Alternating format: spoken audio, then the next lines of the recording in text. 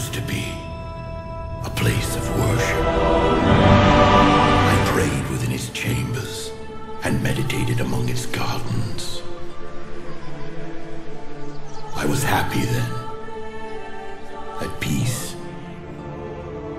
I remember too the day the orcs came.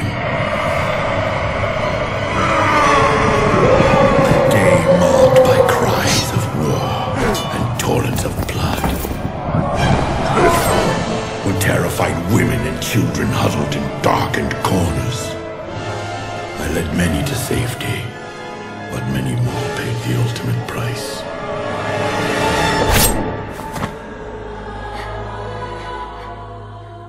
That day, my beloved sanctuary became the Black Temple. There, the Orc warlocks practiced a twisted magic that corrupted the land and nearly destroyed us all. Do Not do this, Gul'dan. They're witness to the undeniable power of our Dark Master. He will destroy us all.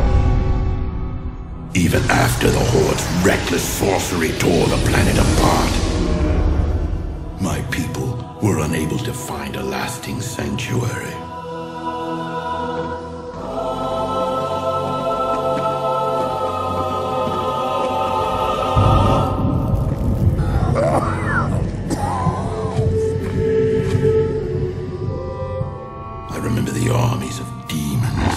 That swept down on us like a plague.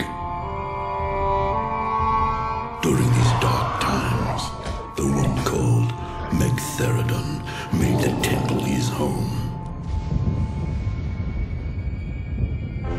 Then came Illidan, the one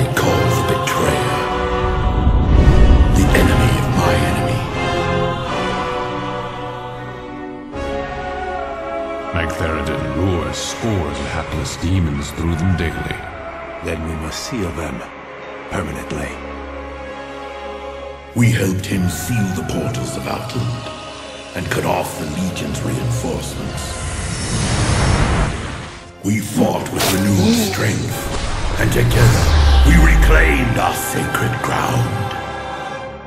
I think part of me knew, even then, that the Black Temple had only traded one evil master for another. I prefer to remember the temple as it used to be, not the abomination it has become. My soul bears the burden of my misjudgment. But I have been patient. I have been waiting. And when the time is right, the betrayer will be become the betrayed.